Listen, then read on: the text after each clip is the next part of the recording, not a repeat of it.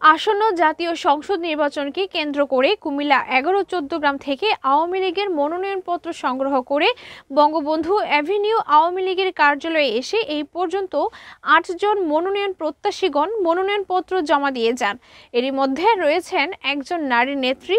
চোদ্দগ্রাম উপজেলার প্রতিনিধি শফিউল আলমের তথ্যচিত্রে দেখুন বিস্তারিত।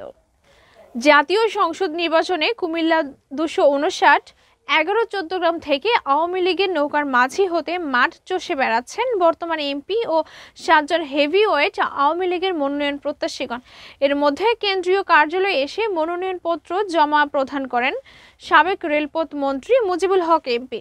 চোদ্দগ্রাম উপজেলা পরিষদের চেয়ারম্যান আব্দুস সুবাহান ভুইয়া হাসান, চোদ্দগ্রাম উপজেলা পৌরসভা সাবেক মেয়র মিজানুর রহমান, কেন্দ্রীয় শ্রম ও জনশক্তি উপকমিটির সদস্য এম তমিজ উদ্দিন ভুইয়া সেলিম, বেলজিয়াম আওয়ামী লীগের সভাপতি বজলুর রশিদ বুলু বাংলাদেশ আওয়ামী যুবলীগের কেন্দ্রীয় কমিটির কার্যনির্বাহী সদস্য জসিমউদ্দিন ভুইয়া, বীর মুক্তিযোদ্ধা বাহার রেজা, বীর প্রতীক ও কুমিল্লা দক্ষিণ জেলা মহিলা আওয়ামী লীগের সাংগঠনিক সম্পাদিকা আয়েশা জামান শিমু সহ আটজন মনোনয়নপত্র জমা দিয়েছেন। মনোনয়নপত্র জমা দিয়ে এই সময় সাংবাদিকদের বিশেষ সাক্ষাৎকারে মুজিবুল হক এমপি তার বক্তব্যে বলেন, মাননীয় প্রধানমন্ত্রী জননেত্রী শেখ হাসিনা আমাকে এই পর্যন্ত তিন তিনবার আওয়ামী লীগ থেকে নৌকার মাঝি হিসেবে চোদ্দগ্রামবাসীর খ্যাতমত করার সুযোগ করে দিয়েছে। আমি এমপি থাকাকালীন চোদ্দ গ্রামে অনেক উন্নয়নমূলক কাজ করেছে। তাই আমি আশাবাদী, মাননীয় প্রধানমন্ত্রী জননেত্রী শেখ হাসিনা আমাকে আবারও নৌকার মাঝি হিসেবে চোদ্দগ্রামের টিকিট দেবেন। অন্যদিকে আওয়ামী লীগের মনোনয়ন প্রত্যাশী চোদ্দগ্রাম উপজেলা পরিষদের চেয়ারম্যান আব্দুল সুবহান ভুইয়া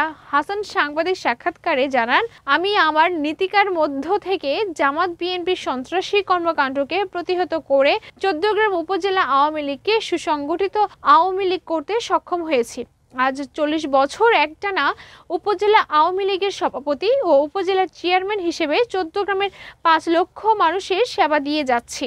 আমি আশাবাদী, মাননীয় প্রধানমন্ত্রী জননেত্রী শেখ হাসিনা আমাকে চোদ্দগ্রামের পাঁচ লক্ষ মানুষের মুখে হাসি ফুটানোর জন্য আমাকে চোদ্দগ্রামে নৌকার মাঝি হিসেবে মনোনীত করবে। মনোনয়ন প্রত্যাশী সাবেক মেয়র মিজানুর রহমান উল্লেখ করে বলেন চোদ্দগ্রামের পাঁচ লক্ষ জনতা চোদ্দগ্রামে পরিবর্তনের লক্ষ্যে আমরা একমত পোষণ করছি।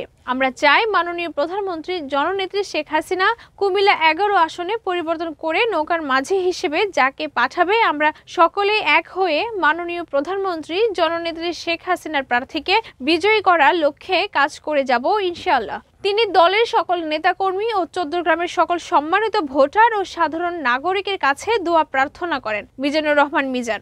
এই সময় উপস্থিত ছিলেন চৌদ্দগ্রাম উপজেলা যুবলীগের আহ্বায়ক শাহজালাল মজুমদার, আলকরা ইউনিয়ন পরিষদের সাবেক চেয়ারম্যান বাচ্চু সহ চৌদ্দগ্রামের বিভিন্ন নেতৃবৃন্দরা।